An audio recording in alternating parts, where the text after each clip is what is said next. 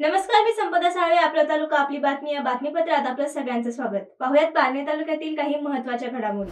पारणे तालुक्यातील एकशे चौदा ग्रामपंचायतींपैकी नुकत्याच पार पडलेल्या अठ्ठ्याऐंशी ग्रामपंचायतीच्या निवडणुकांनंतर आता सरपंच व उपसरपंच निवडीचा कार्यक्रम तहसीलदार ज्योती देवरे यांनी घोषित केला असून दिनांक नऊ फेब्रुवारी रोजी बावन्न तर दहा फेब्रुवारी रोजी छत्तीस ग्रामपंचायतीच्या सरपंच उपसरपंच पदाच्या निवडी करण्यासाठी सदस्यांच्या विशेष सभेचे आयोजन करण्यात आले आहे. या निवडी करण्यासाठी अभ्यासी अधिकाऱ्यांची नियुक्ती करण्यात आली असून निवड प्रक्रियेसंदर्भात त्यांना आठ फेब्रुवारी रोजी दुपारी बारा वाजता तहसील कार्यालयात प्रशिक्षण देण्यात येणार आहे. नगर कल्याण रोडपासून काही किलोमीटर अंतरावर असणाऱ्या पारणे तालुक्यातील हिवरे कोरडा येथे जगात प्रसिद्ध असलेल्या शिर्डी येथील शिर्डी साईबाबांच्या मंदिरासारखे एक भव्य दिव्य मंदिर साकारले जाणार आहे.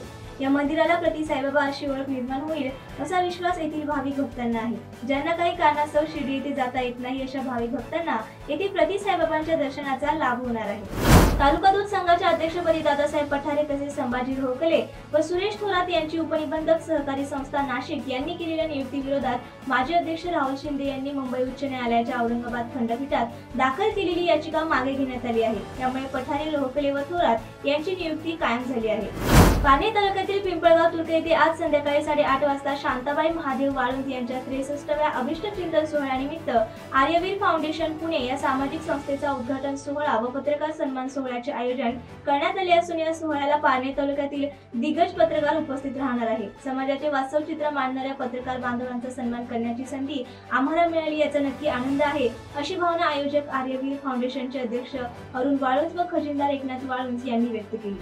शालेय विद्यार्थी शैक्षणिक नुकसान टाळण्यासाठी पारणे तालुक्यातील पारणे ते पाडळी रांजणगाव एसटी बसच्या फेऱ्या सुरू कराव्यात अशी मागणी पालकांसह ग्रामस्थांकडून केली जात होती.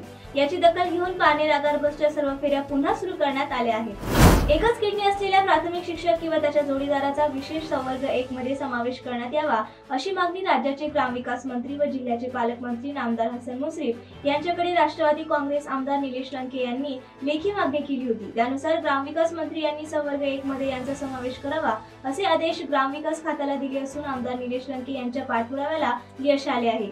गेल्या अनेक वर्षांपासून विविध प्राथमिक शिक्षक संघटनेच्या वतीने मागणी करण्यात येत होती. आमदार निलेश लंके यांच्या माध्यमातून या मागणीला यश आले. आहे.